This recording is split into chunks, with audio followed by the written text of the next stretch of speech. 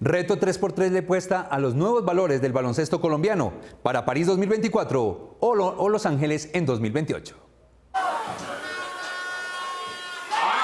Es dándolo a toda para obtener el balón y hacer todo lo que uno pueda. Toma más fuerza esta nueva tendencia del baloncesto. un deporte de, de carácter, de calle. La nueva disciplina olímpica del 3x3 que en Colombia tiene furor. Más calle, más estilo y más viveza.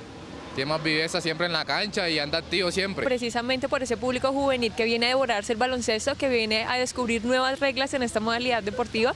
Vimos cómo se desenvolvió muy bien en los Juegos Olímpicos, en los Juegos Bolivarianos, en los Juegos Panamericanos, en donde incluso Colombia obtuvo oro. Campeones del 3x3 parada en Bogotá. Equipos integrados por diferentes regiones, iniciando por Cartagena. Hay dos que son de Buenaventura y uno aquí de Bogotá. Incluso grandes jugadores colombianos del baloncesto convencional impulsan esta generación, como el equipo SO Basketball. A nuestro entrenador, Stalin Ortiz, que fue inspirado en él. Luis Sinisterra le apuesta a sus sueños. Ya llevo tres años con él y pues él no, nos atrajo hacia el torneo y, y aquí estamos. Es salir del país, buscar una beca por fuera y, y estudiar. Pero el reto 3x3 va más allá. Es inclusivo y visibiliza. Ya se puede expresar mucho más, no sé, una Liga Bogotá, una Colombia, hasta una Interliga. Tenemos cinco categorías oficiales que son categoría sub-10 sub-14, sub-17, libre. E incluimos dos nuevas que son maxi 40 y silla de ruedas. Incluimos en las diferentes categorías tanto la rama femenina como la rama masculina para generar una inclusión bastante amplia y una participación masiva. Una nueva oportunidad para todos, incluso los de silla de ruedas, con un factor común. Los nuevos basquetbolistas del 3x3